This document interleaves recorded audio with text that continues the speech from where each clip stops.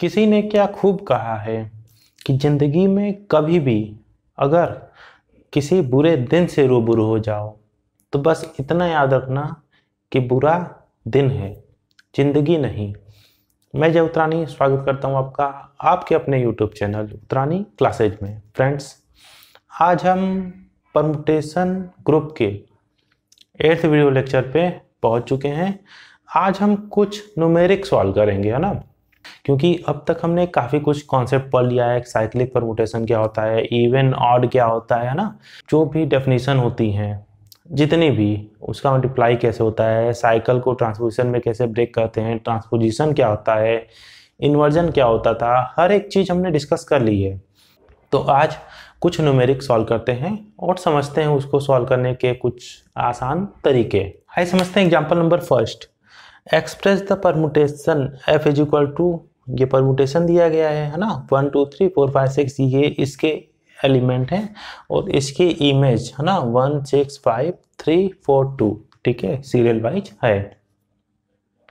As a product of disjoint cycle disjoint cycle में इसको हमें ब्रेक करना है। भैया डिसजॉइंट साइकिल क्या होती है? साइकिल जिसमें हर एलिमेंट के आगे वाला उसकी इमेज हो साइकिल फॉर्म कर जाता है, ठीक है? साइकिल में जितनी उसकी डिग्री होती है, वहाँ पे हम लेंथ वर्डिंग यूज़ करते हैं। डिसजॉइंट साइकिल ऐसे कोई भी दो या तीन या चार साइकिल जिसमें कोई एलिमेंट कॉमन ना हो, ठीक है? वो डिसजॉइंट साइकिल होगा। लास्ट वीडियो लेक्चर में हमने इन सब पे बात कर ली थी, ठीक है? तो पहले हम एफ़ लिख देते हैं। एफ़ क्या है? One two three four five six image लिख देते हैं, one, six, five, three, four, two. तो ज्वाइंट साइकिल में ब्रेक करना है मतलब इसको अलग अलग साइकिल में ब्रेक करके लिख देना है। वन की इमेज वन पे है, ठीक है? तो ये तो एक अलग हो गया, है ना? ये क्या है? ये आइडेंटिटी परमुटेशन है। वन लेंथ के साइकिल को आइडेंटिटी परमुटेशन कहते थे। ठीक है? अब टू की इमेज सिक्स पे है सिक्स की इमेज टू पे है। तो यहाँ टू सिक्स लिख दिए। थ्री की इमेज फाइव पे है और फिर फाइव की इमेज फोर पे है, फिर फोर की इमेज थ्री पे है। इस तरह इसको ब्रेक कर सकते हैं, ठीक है? मतलब हमने, अब देखिए, ये वन अलग हो गया, ये टू सिक्स अलग हो गया, ये थ्री फोर फाइव अलग हो गया, थ्री फाइव फोर, सॉरी, है ना? ये डिस्टेंट साइकिल हो गया। या अगर इतना आपको डायरेक्ट ना समझा तो एक दो स्टेप हम इसमें और लिख देते हैं। देखिए इस वन वन को अलग कर दीजिए। यहाँ पे इसको सात लिख दीजिए। Two, six six, two. यहाँ पे लिख दीजिए थ्री, फिर फाइव, फिर फोर। ये हम देख के लिख रहे हैं कि किसकी इमेज किस पे जा रही है, क्योंकि थ्री की इमेज फाइव जा रही थी तो इसीलिए उसके बगल में वो लिख दिए। फाइव की इमेज फोर पे जा रही थी, उसको लिख दिए। फोर की इमेज थ्री पे जा रही है, उसको लिख दिए। अब इसको अलग इसको अलग इसको अलग। ब्रेक करके फिर हमने वन रो सिंबल में लिख दिया। वन रो सिंबल में क्यों लिखे? क्योंकि अगर परमुटेशन साइक्लिक है तो उसको वन रो सिंबल में हम लिख सकते हैं। ये आपका आंसर हो गया। आइए समझते हैं सेकेंड क्वेश्चन देखिए, इसमें क्या करना है? Express the permutation F is equal to ये परमुटेशन दिया गया है as a product of transpositions ठीक है, इसको ट्रांसपोजिशंस के प्रोडक्ट में लिखना है। पहले तो इसमें से साइकिल जितने हैं, उसको अलग अलग कर लीजिए। अब देखिए एफ़ इज़ इक्वल टू ये हो गया। इसको यहाँ पे F is equal to two three three two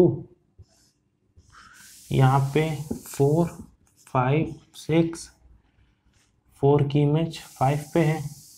तो यहाँ पे सिक्स फोर फाइव जो लिखा है, उसी तरह हमने लिख दिया। देखिए, अब थोड़ा इसको रीअरेंज करना होगा। इसको इस तरह लिख दे रहे हैं। एफ़ इज़ इक्वल टू ये टू थ्री थ्री टू ये हो गया फोर ये हो गया सिक्स ये हो गया फाइव फोर की इमेज सिक्स सिक्स की इमेज फाइव फिर फाइव की इमेज फोर ये इस तरह लिखाएगा, है ना?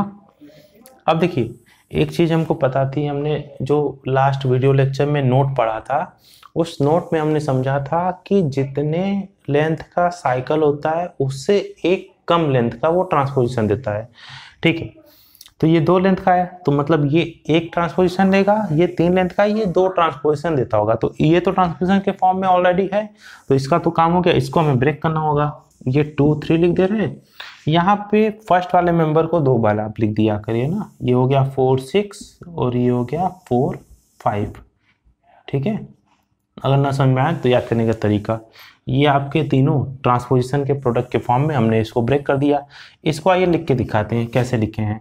देखिए क्या था? Four six five six five four ठीक है? हमने क्या लिखा? फोर सिक्स फोर फाइव देखिए फोर की इमेज सिक्स सिक्स की इमेज फोर फोर की इमेज फाइव फाइव की इमेज फोर ठीक है? दोनों को कंबाइन कर लीजिए। देखिए फोर की इमेज सिक्स मिल रहा है। सिक्स की इमेज फाइव देखिए, यहाँ से मिल रहा है है ना? ये दोनों अगर आप कैंसिल कर दो तो यहाँ फाइव की इमेज फोर ये मिल रहा है।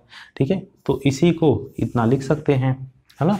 क्योंकि ट्रांसपोजिशन में ब्रेक किए थे तो एक कॉमन जैसे किसी भी चीज़ को ब्रेक करने के लिए कॉमन चीज़ नहीं आ जाती है ठीक है? वो उसी टाइप का इसको मान लीजिए। चाहे आप इतना लिखो, चाहे आप इतना लिखो, चाहे आप इतना लिखो, एक ही चीज़ है, ठीक है? उसमें कोई गलती नहीं है। तो फ्रेंड्स आज के लिए इतना ही। मिलते हैं अपने नेक्स्ट में। तब तक के लिए स्वस्थ मस्त रहें, खुश रहें। जय हिंद।